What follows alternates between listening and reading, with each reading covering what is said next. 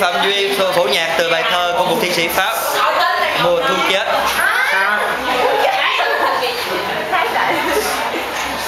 Đi lên cái tổng Ta ngất đi, một cùng hoa thạch thảo Em nhớ cho mùa thu đã chết rồi. Mùa thu đã chết em nhớ chưa? Mùa thu đã chết.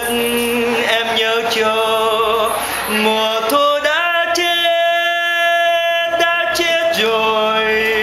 Em nhớ chưa? Em nhớ chưa? Đôi chúng ta sẽ chẳng còn nhìn nhau nữa. Trên cõi đời này, trên cõi đời này đây mãi mãi không thấy nhau.